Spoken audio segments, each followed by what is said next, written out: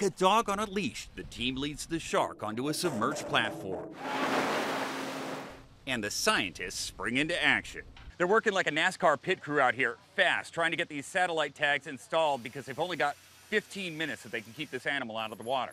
They draw blood and even perform an ultrasound, all while the shark is awake and unsedated. I just want to get right in here and get a, get a look. Can we? Oh my gosh. I mean, I've never been this close to such a massive animal before. Brett McBride is pumping seawater through her gills to keep her breathing. I mean, you've got your hand practically in its mouth. Yeah, but you can see that it's fairly docile. They usually are. Scientists call this learned helplessness. The shark can't go anywhere, so she stops fighting to save energy. Can I touch one of her teeth? Yes. Yeah. Yeah. You can. Oh my God, this is so weird.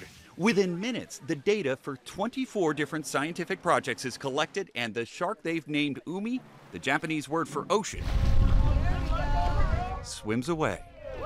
But those tags scientists attach will track her movements for up to 10 years. They're the system manager of the ocean. As they go, the ocean goes. The ocean is 70% of the planet, provides us two thirds of our oxygen, 100% of our water, and billions of people food every day. They are the guardians of our fish stocks. There's no future for us as humans if there's not a robust future for our large sharks.